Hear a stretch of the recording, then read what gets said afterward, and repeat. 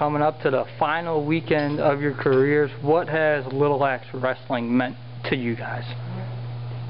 Just about everything. My friends revolve around it. my whole life. Yeah. Um, it's pretty much all we do. Um, everything we do leading up to this point has, I mean, it's been hard, but it's what we do it for. I mean, Yeah.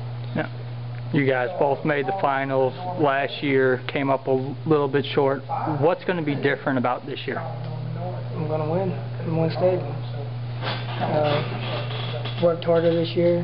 Um, lost a tough match in overtime at regionals, and uh, next time I'm going to win. Work hard. Every year uh, in wrestling, kind of just, that's all you can do is work hard to get better. It's just a tough sport to last and hope to come home with gold.